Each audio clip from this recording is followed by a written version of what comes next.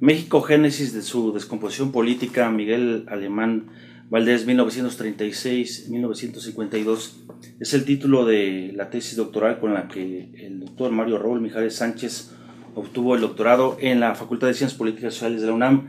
Eh, un libro eh, a todas luces revelador acerca de no solo del momento histórico al que se refiere específicamente la tesis, sino de la coyuntura actual que estamos viviendo en el país.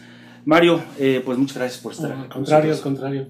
¿Por qué eh, utilizas como parteaguas al gobierno de Miguel Alemán Valdés en el 36 para hablar de esta descomposición política del país? Mira, en primera, eh, no soy el único que lo toca de esa manera.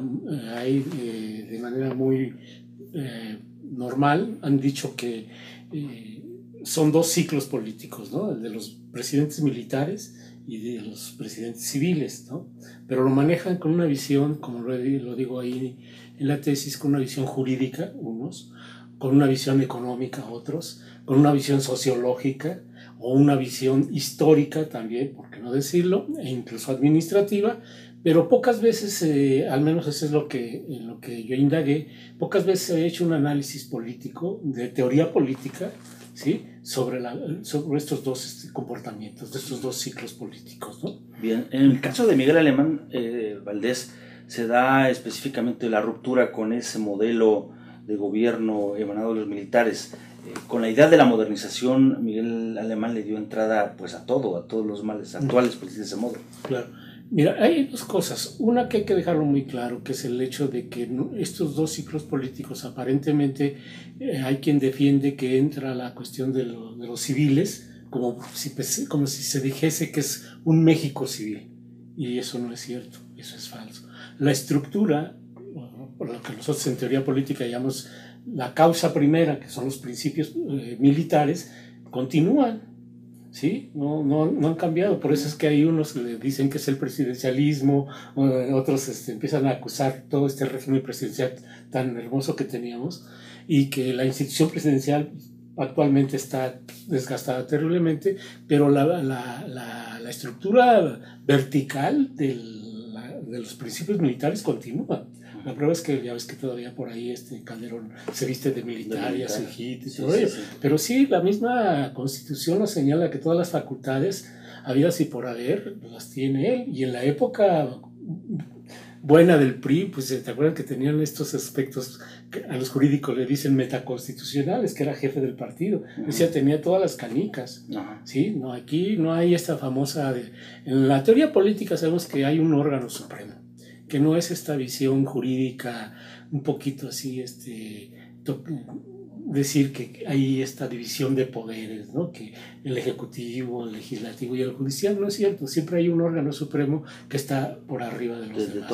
Y en el régimen presidencial mexicano, pues la constitución a través del artículo 189 lo señala como jefe de Estado, jefe de gobierno, jefe de la administración pública, jefe de las fuerzas militares, bueno, ¿qué no? y por eso te decía incluso jefe del partido en su momento, ¿no? Entonces es un régimen presidencial con esas características. Eh, Mario, en, en, el, bueno, en la contratapa de tu, de la, del texto, eh, específicamente se dice que eh, se puede encontrar en el texto la génesis de la descomposición política en México, de esa de su estructuración ¿no? que, que, sucedió en el país. ¿Cómo podrías caracterizarlo a grandes rasgos? ¿Qué fue lo que sucedió con Miguel Alemán? Mira, es este, en cierta manera eh, hay dos esquemas que maneja este gran teórico de la ciencia política que es Maquiavelo. En su tercer y cuarto capítulo yo de ahí lo retomo. Dice, hay dos maneras de conquistar y conservar el poder.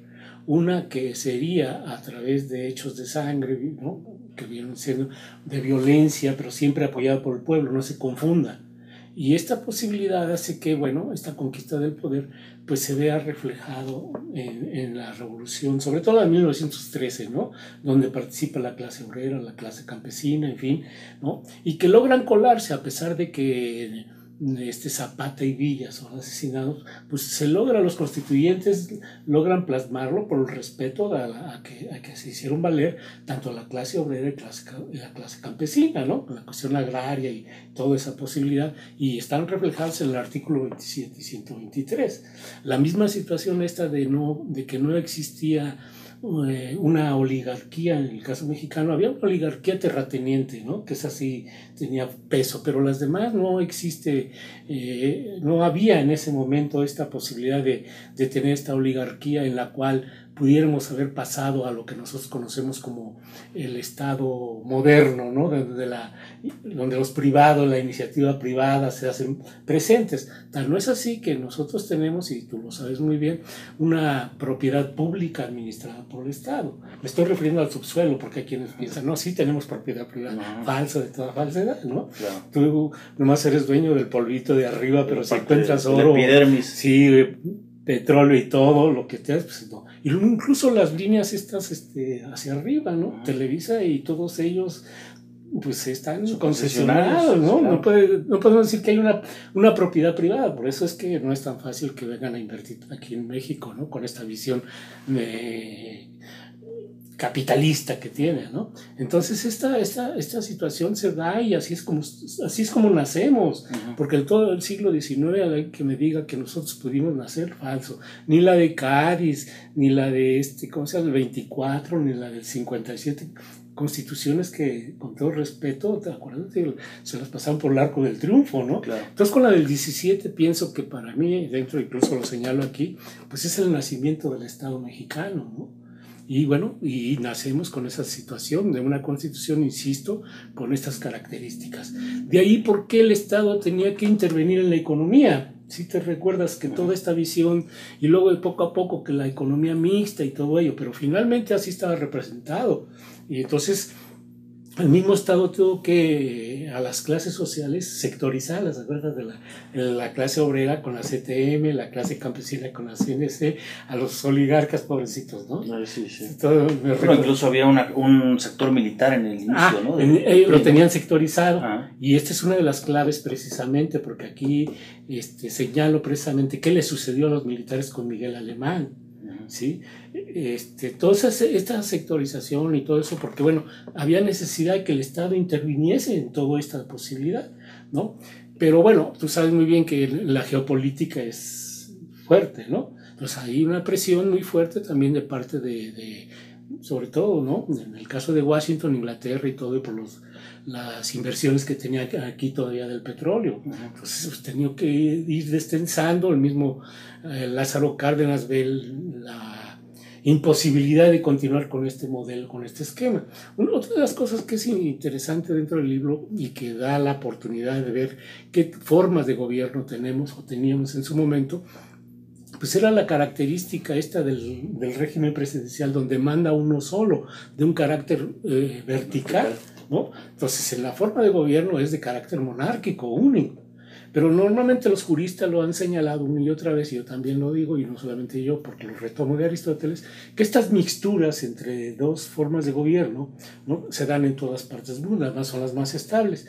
Entonces, en el caso mexicano, en su carácter monárquico, por tener el, el presidente de la República, ¿no? el poder ejecutivo personal, monárquico, pero tenía esta característica republicana o sea, nuestra constitución era eminentemente republicana. ¿Qué te dice la, cuestión de la constitución republicana? Que estaban representadas todas las clases sociales, todas, obreros, campesinos, todos, todos. Al menos en el papel, ¿no? No, los, por eso digo que hasta los sectorizaron, los sectorizaron, ¿no? Sí les daban oportunidad a los ricos, no me digan que no, por favor. Entonces, sí. Entonces, este, toda esta visión, eh, por la pregunta que tú me estabas haciendo, es que con Miguel Alemán toda esta visión republicana es cambiada para tener una visión meramente oligárquica, ¿no? Es decir, acuérdate, bueno, también vive un proceso de industrialización, de segunda guerra, a él lo toma precisamente lo, lo, dice de esa manera, ¿no? La modernización, pero también esta posibilidad de ir desgastando a la, a la, a la, a la constitución con la cual habíamos nacido. Sí, es el primero que crea. Eh, hay una reforma por ahí más, pero él inicia con la reforma, ¿no? Ahí empieza el proceso de acumulación de, digamos, de los grandes capitales en México con Miguel Alemán. Pues, puede. Sí, eh, sí se puede decir que, porque mira, acuérdate que hay un grupo de Monterrey que ya eh, Miguel, este, ¿cómo se llama? Porfirio Díaz ya traía por ahí caminando, ¿no? Pero yo les he dicho a veces a mis alumnos, a ver, dígame el nombre de una compañía petrolera o un nombre petrolero, aunque sea para atrás o para adelante, si existe. Díganme el nombre una compañía mexicana o un nombre de que haya hecho este, la industria automotriz, ¿no? O de aviones, de esto, no los hay. Por eso es que el pobre el Slim ya ve que me los trae. Sí, sí, sí, Porque pienso. Y además, este, otra de las cosas, y esto es más serio, es no llegamos ni siquiera a la tercera generación. ¿eh? Bueno, los oligarcas, nosotros no.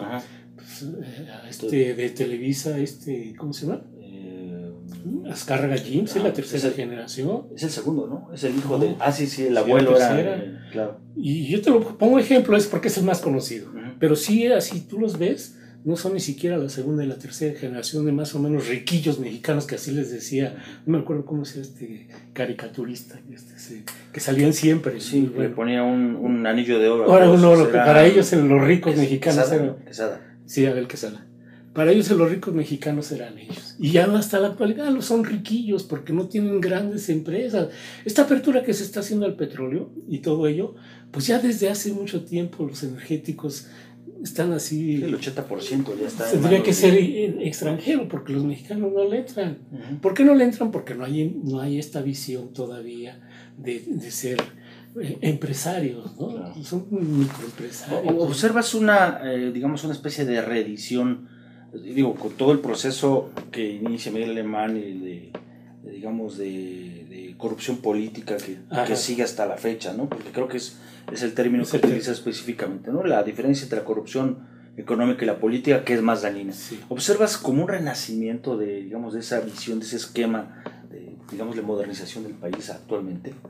Mira, sí, porque, mira, eh, para aclarar un poquito, ¿no? Eh, de hecho, ¿por qué es 36-52?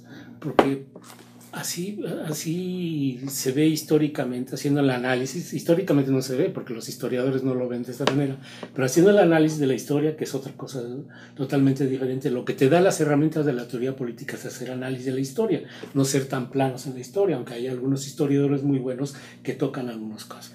Pero esto fue un laboratorio, ¿eh? Este fue eh, Veracruz en el del 36. Nomás dura dos años y medio, nada más. O sea, ni siquiera termina. Afortunadamente. pues para él, ¿no? Que, que, que, lo, que lo mandan a, llamar. Pero ese sí realmente fue un laboratorio de, tanto individual como del mismo país, lo que, lo que sucede con él. Ya esta visión de no poner a un militar, sino estar poniendo a un civil, ya venía desde, desde atrás el mismo este, Venustiano Carranza, eh, por eso es que también le golpean, porque quería imponer en aquel entonces a Ignacio Bonillas, ¿no? que ni siquiera estaba aquí, entonces pero como era civil, pues ya estaba la presión por la dejar de civil.